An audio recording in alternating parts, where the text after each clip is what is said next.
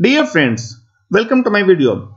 In this video, I'll show you how to get the installation date of any app installed in your Android phone uh, from your Android app. So let's begin. We'll give any name to it. So get installation uh, date of installation or I'll just put uh, apps installation date to keep it apps installation date. And I'll just click uh,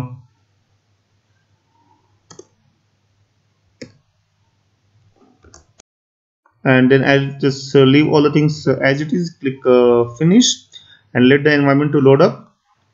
So perfect.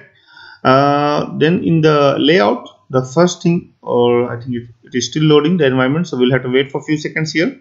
Once the environment gets loaded up uh, the layout part will be like as it like this so we'll add a button very quickly and this button probably will give the name as um, get the get installation date. So this will be my trigger uh, this click of this button. And before this button we'll also put a text plain text as an input. And that will take the input of the name of the app. So probably I can give it I don't know why it says person name. So I'll just change it edit text a app name. So whatever apps name we give and it will just find that app in the installation and uh, return the installation date over here in the text view. So text probably I didn't don't need anything over here. I just put few constraints. And then I'll put hint over here. Uh, enter. Apps sorry. Apps name. Perfect and what else? Probably I can put change the alignment of this to center. Yeah.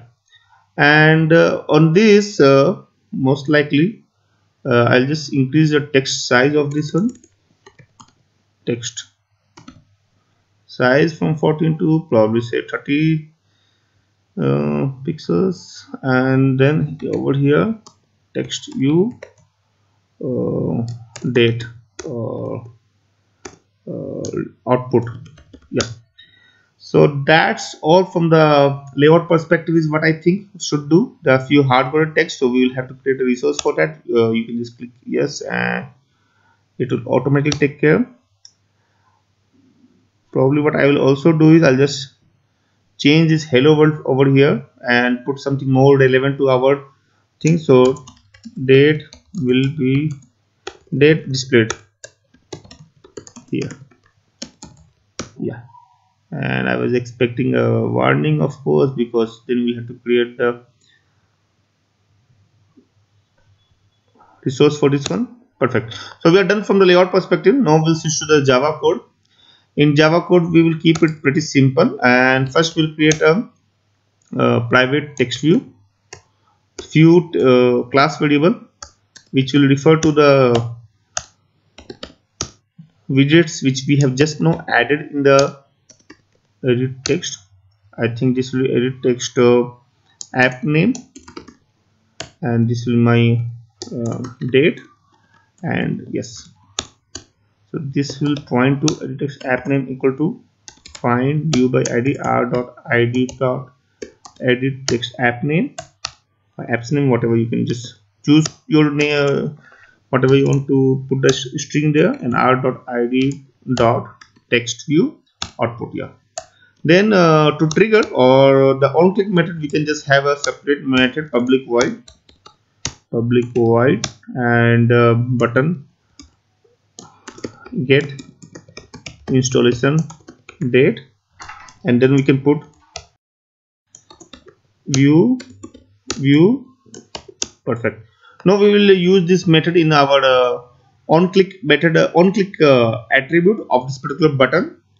And so you go back to the layout and over here you can just choose it like this in the drop down and that's fine that's sufficient. Now getting back here uh, what else we will need is we'll first start. First create a local variable uh, which will contain my string package name. Package name is nothing but uh, for the app we'll have to get a complete package name so say for example if i scroll up I don't know why this is not working. Okay, so the package name for this particular app is uh, this one. So similarly for any app, say for example, if you have WhatsApp installed, you will get this package name for that particular app or something like that. You'll need to get the package name for that, that particular app. So you need to know the complete package name for that. So over here, I'll just uh, create a local string and I'll just quickly check whether this edit text app name dot get text dot to string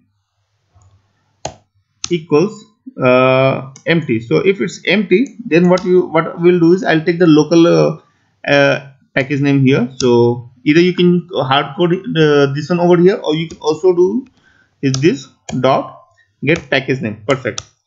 Else if uh, that is not empty uh, then of course you can again do a some kind of algorithm here but i will keep it simple. I am just trying to fetch the apps installed or installed by me or that, that, that developed by me. So what i will do is i will just keep it the first part anyway i know that it will be this one only and the only the name of the app will change which is the last part. So to, what i will do is over here i'll just make it like this plus and then i'll take the app name which will come from my uh, user entry which is this one get text dot to string perfect.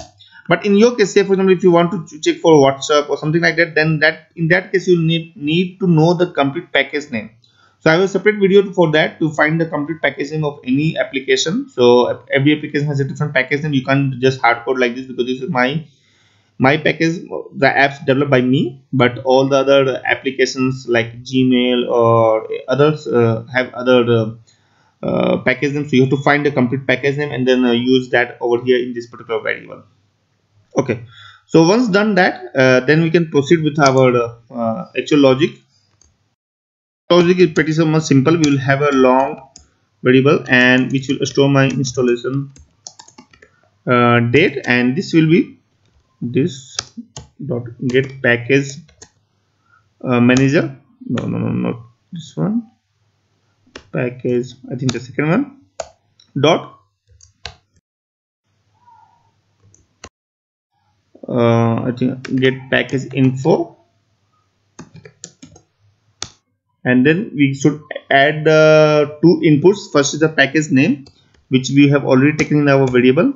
And the second is flag. We can just leave it as zero. And then uh, you can see that different uh, options which you are getting or different information you can retrieve. Say for example first installation time or the last update. So first uh, sometimes you want to know when was the last update of that particular app. So you can choose either of them or install location and there are various information you can fetch. In this video i'll just show you first installation time. So that's what i am uh, more interested in. Perfect. And but here i can see there is some red some something in warning. So if i right click so it's asking me to add an exception to the method or surround surround with try catch I think I'll go with the second option where it surrounds it uh, with try catch and that should be fine. And then probably I'll proceed.